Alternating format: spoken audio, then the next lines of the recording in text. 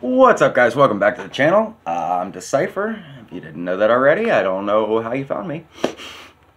Anyways, today we're starting off a new series uh, I'm calling Mixing and Mastering with Deexypher. And this is going to be basically, um, we're going to go through different genres and I'm going to show you how I mix and master each one and get them ready for, you know, Spotify or BeatStars or wherever they're going to go. Um, so, without further ado, let's get into it. But before we do, make sure you guys do all that fun little yummy YouTube stuff and click the like button, subscribe, the bell, all that nice stuff. Um, just all the algorithmic crap. Alright, so what we've got here is uh, I've got this track that I've been working on. It's a, a 21 Savage Metro Boomin type beat and I actually did this by creating the whole beat around the No Heart acapella, which is something that uh, my buddy L.Dre turned me on to. Is an acapellas to build your beat. Now, because of YouTube, I obviously can't play the lyrics or the acapella, so we're gonna work with the beat here, and I'm gonna show you guys exactly how I do my mixing and mastering for hip hop beats, how I break them down, everything like that, and yeah. So let's get into this. Go ahead and start off by playing the beat.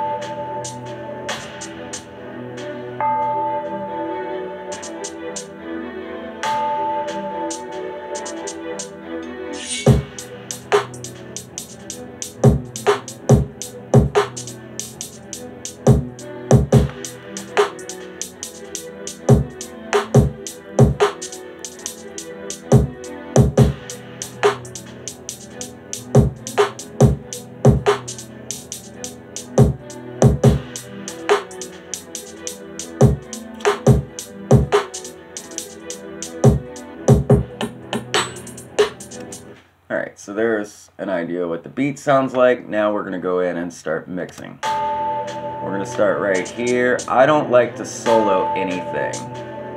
Soloing, oh shit. Now we're going to go ahead and go in and start mixing this. Uh, first thing is, I don't solo anything when I work.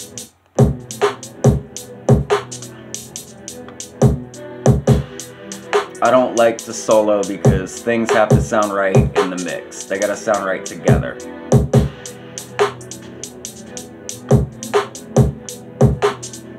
So like you'll see I'm pushing stuff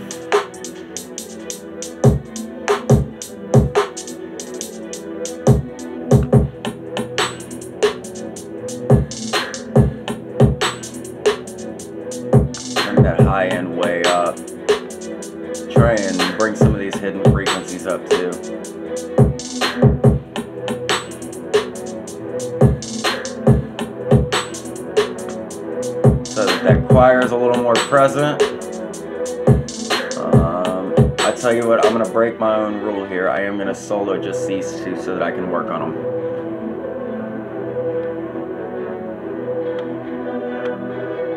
And then we're to put an EQ on this find the hidden frequencies to work with here.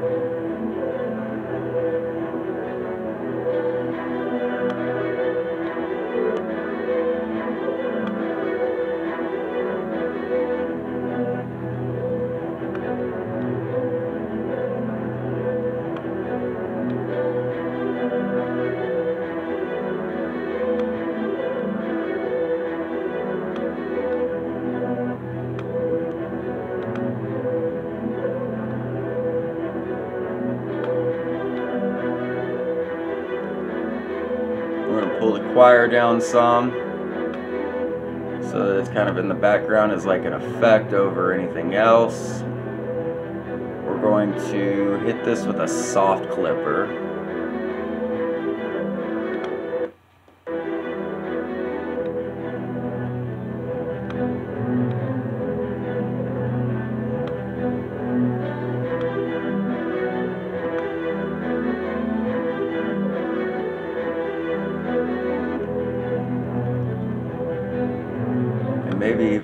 driver here, just for some difference in tone.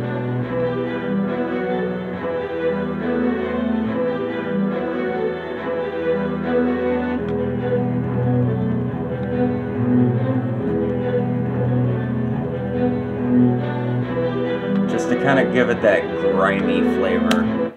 You know, that old school UK grime flavor by adding a little distortion on the uh, strings there.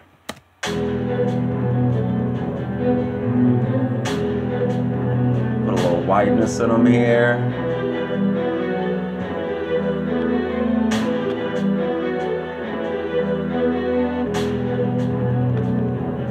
This is something I want to take a second and talk about. When you are panning, okay, this is something I learned from from watching Butch Vig do this for so long. Um, I'm a huge I'm a huge huge fan of Garbage and Butch Vig. Um, Butch Vig uses a very old school style, uh, like wall of sound type style. And the thing is, is that when you do that,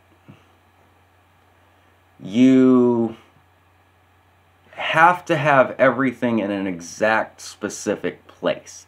Every single little thing has to be in a specific place. You don't want things in in the same place because they'll blend. Now, you can take and say put the strings 12% left and then move your string and move your, you know, your hi-hats over to 12% right because it's going to create that differential in sound.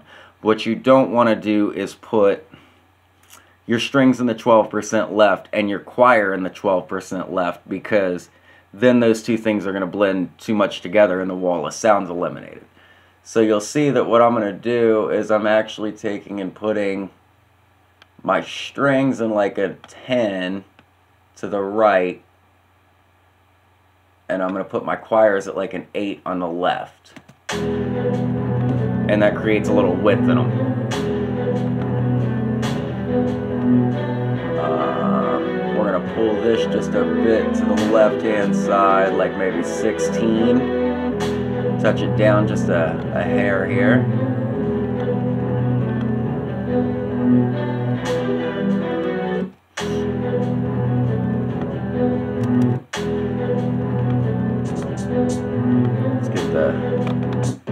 Sounds coming back in. Put that perc there.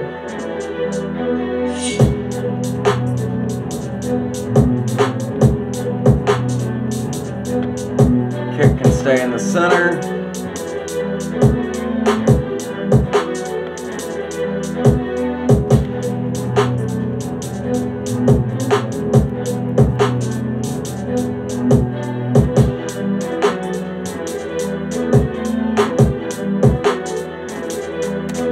Now generally when I do my hats, because I use two different hats, um, there's two different ways I go about this. One of them being is that you can take and move your hats to the left hand side. Um, which is how I prefer to do mine. I put my hats on the left because most of the drummers I've ever known in my life sit like this. This is their hat on their left hand side. Conversely, I know that when fans and music listeners sit and listen to a song or see a band live, they actually hear it this direction where the hats are on the right. So a lot of producers put their hats on the right to recreate that sound of listening versus creating. I tend to put mine on the left just because that's where I remember hats being. So, it's really a personal preference. That's kind of the whole great thing about this is it's it's all your own song. So if you want to put your hats on the right side, you can. And that's the whole thing too is that you can layer things on top of each other if for whatever reason you think it sounds good. I just don't. It's my own personal preference. I just don't think it sounds good when you have strings and choir both sitting right here because well how do you know where you know the back one is? But say if it was off another even 1%, they've got separation between them. You can see where they both are. It's just, a, it's a personal preference thing though. You can totally do it either way. So like I said, I'm putting my hats to the left. Now occasionally what I'll do is if I use two hats sometimes I will take and put one to the left and one slightly on the right hand side. So let me see, how can we go about doing that? Let's put this at like right there, 6%. And see what that's like.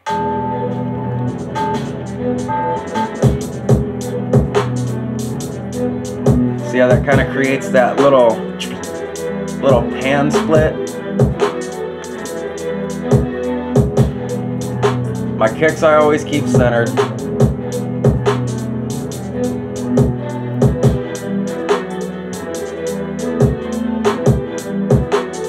Snares you can do pretty much anything with. They can stay centered, they can go to the right, they can go to the left. It doesn't matter.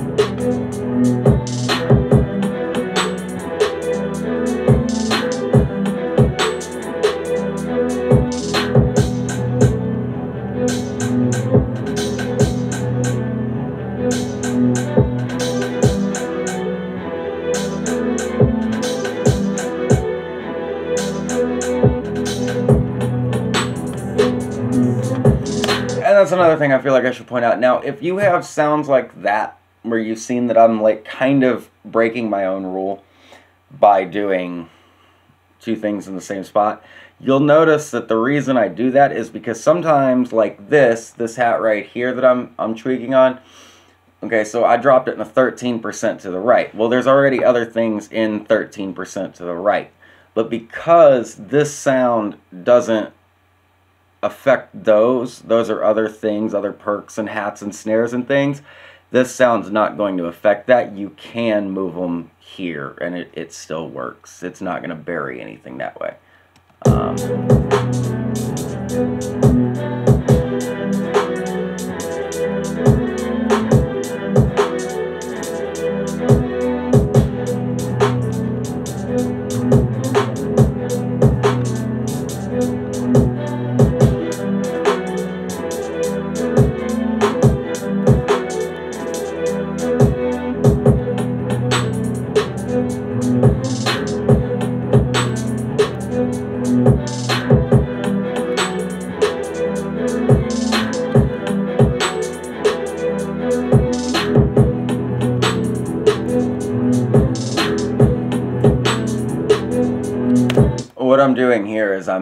potentially dead tracks because I end up with a lot of dead tracks from where I'm like trying out different things and just doing this and doing that on the fly and I don't want to stop and mess with them. I'll just move any potentially dead tracks over um, to the end of my effects rack and that just that keeps them separated. That way if for some reason I start hearing drum sounds that I can't find, I know where they are. I don't have to search for them. But if they don't get used, they're real easy to get rid of then. Um,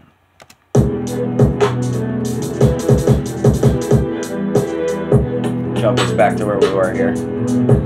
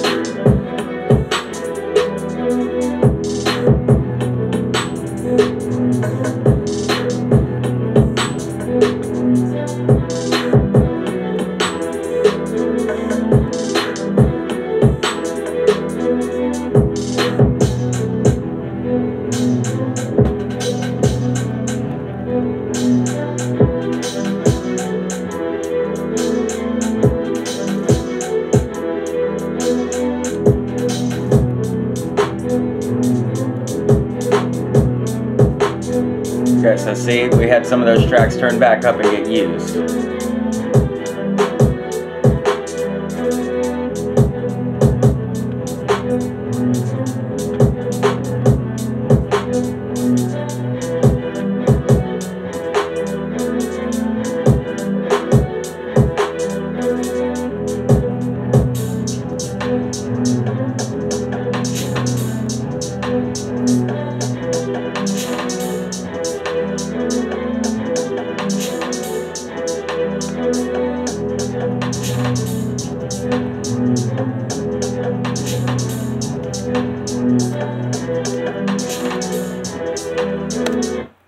Okay, so now we're going to set up buses.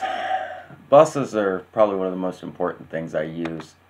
Um, and I owe this one to Chris Lord-Alge, uh, CLA, because, man, he taught me a lot about using buses from watching his stuff. Um,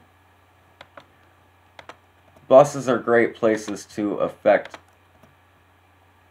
a whole lot of sounds in one very convenient place. And I might have to make my mixer longer to get them all. Yep, I'm going to.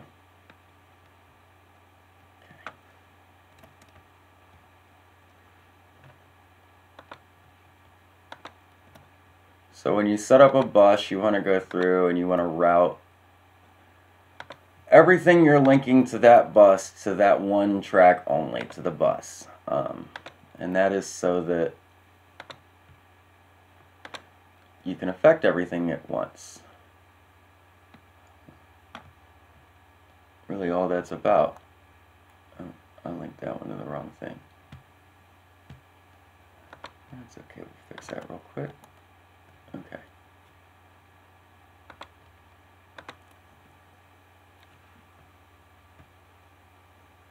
And this can take a minute, which is why I definitely suggest that you be smarter than I am and save yourself a template so that you're not doing this all the time. Um, just something I really need to do is save a template of this, but I'm not going to bother with it today. Which means I'll probably go another week or two before I actually do it. How many more drums do I have? Okay, that's my last one. Neat. Alright, and slide it.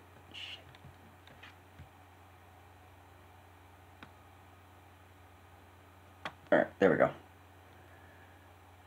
Uh, route to this track only. And then we're going to come over here to the bus. And we're going to rename it to drum bus. And there we go. Uh, I tend to make my buses really bright so they stand out a lot.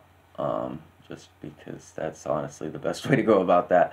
I'm going to go ahead and route this one in, even though I don't know if it's actually anything on it or not. And then let's route the effects to their bus. And I'll show you the benefits of a bus here in just a second. Alright, so now the benefits of a bus are that you're now affecting everything at once. Which means once you have everything leveled, you can then affect everything at one time with this bus. Now, I tend to use my bus a lot of times for doing things like, uh, oh hell, let's get this right here, the CLA Echosphere, which if you guys didn't get that on Black Friday, I feel bad for you because wowie does this thing make me want to buy the Epic. but, uh, alright. This is a nice little slap and reverb here. Uh, we're probably going to try...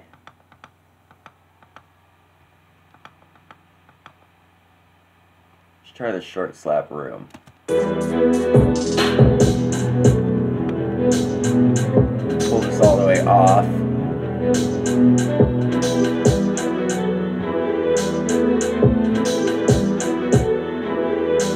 Bring a bit of delay in. Bring that delay down just a little bit. And then bring some reverb up on it.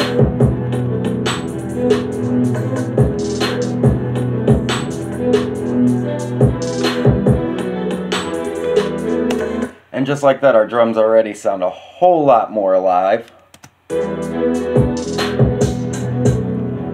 And then I'll come over here and I'll throw this fresh air on from Slate Digital, which has got this lovely little preset in it for a hat lifter.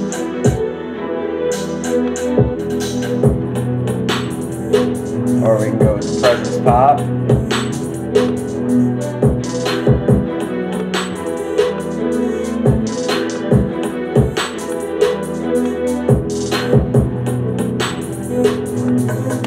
I'm actually going to use the clap lifter on that one.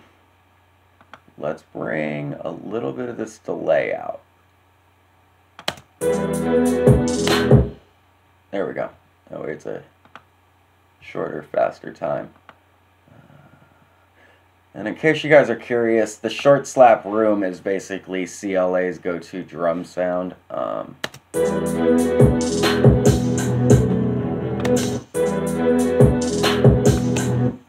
let's start working this now.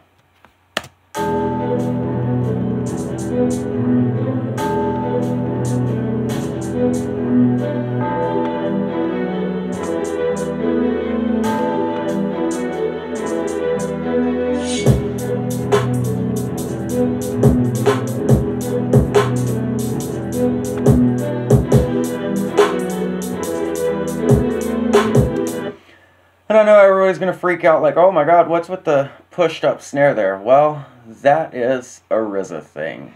RZA from the Wu-Tang used to crush his snares way up there. And man, I gotta tell you, like Savage and Boomin do it a lot, and it, it definitely makes a difference. And you can affect everything later with the drum bus and with limiting and everything so that it's not like clipping. And really, what's wrong with clipping? If it sounds good when it clips, then let it clip.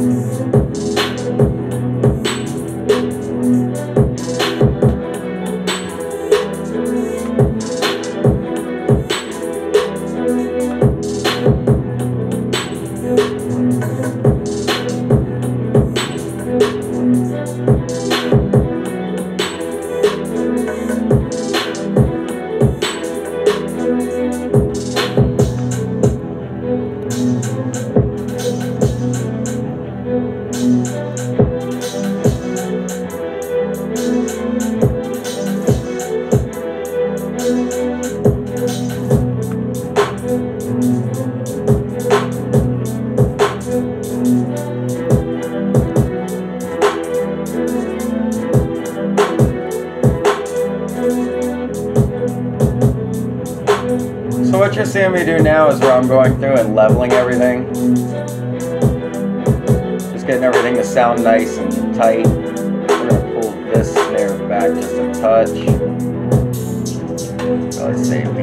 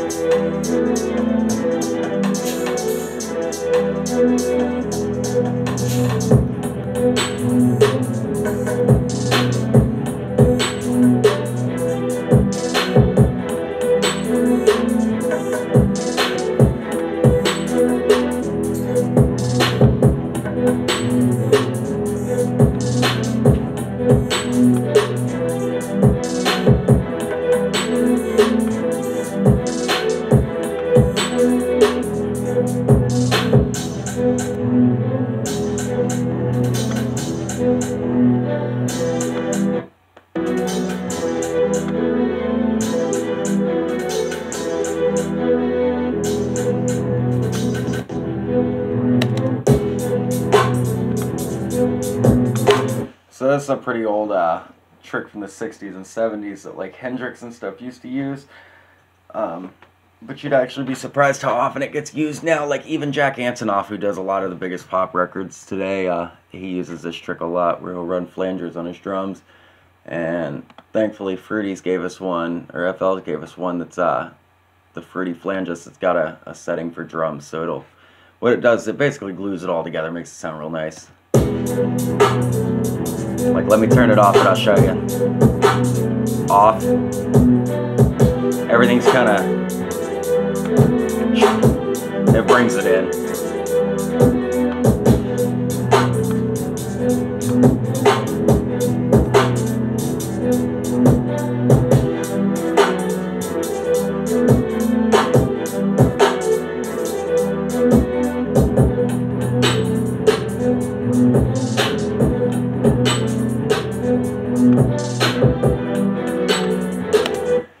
Also notice another thing that I do a lot of is I um I have changed these away from waveforms to bars. And the reason is is because you get two lines and then your top and it's more like a professional studio where you get the the bouncing bars. So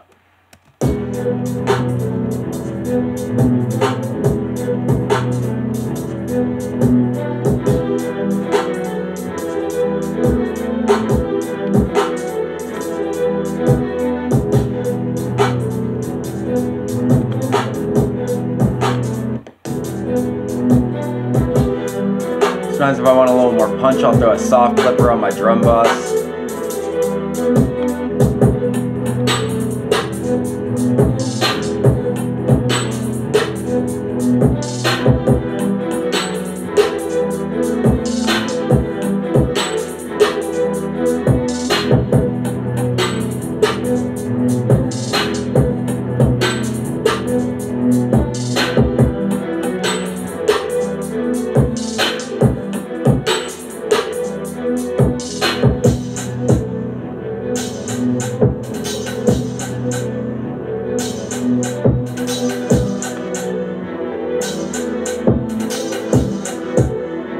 Uh, we might put a soft clipper here.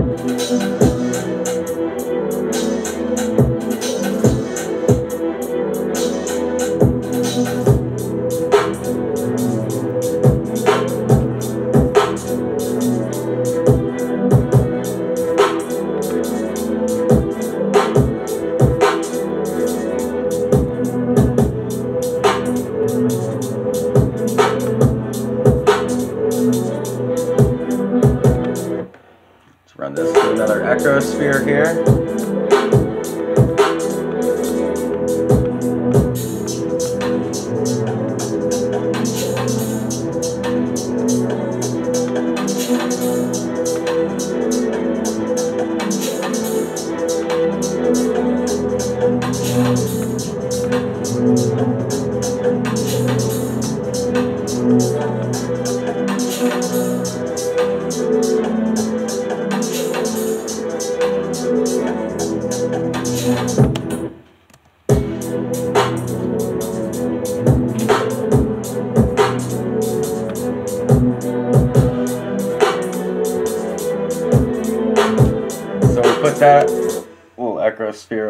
Kind of helped bring it into a room, make everything sound a little tighter together.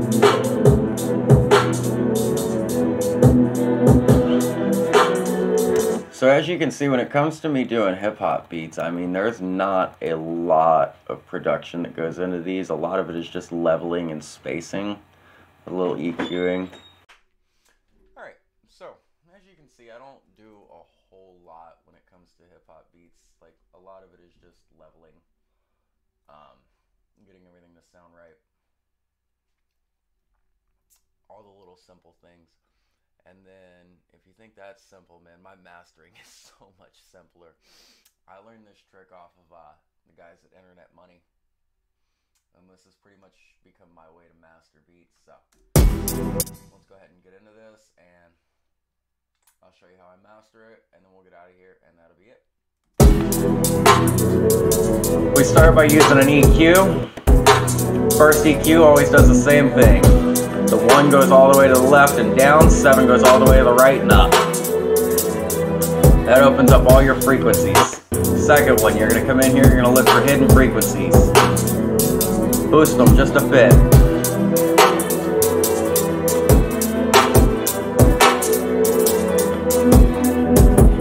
That one back over, cut it off, do the same thing with the seven. Bring it to the right, bring it up.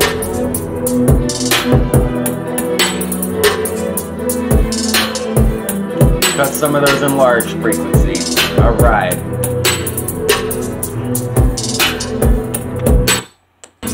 Now we're moving into a limiter. Turn off the attack, the release, and the sustain. Turn them all the way down. Grab your gain. Pull it down, not too much. You just want to chop the tips of like your lowest, highest notes, if that makes sense. Chop those tips. Come back, grab a multi-compressor. Boom, multi-band compressor. Go to your mastering preset, 2.4. Boom, make sure you use the 2.4. Don't over push it, but push things so you start to see a little compression on everything. And the last thing I do on occasion, depending on the beat, is sometimes I'll come in here, I'll grab a Soundgoodizer and very lightly throw it on.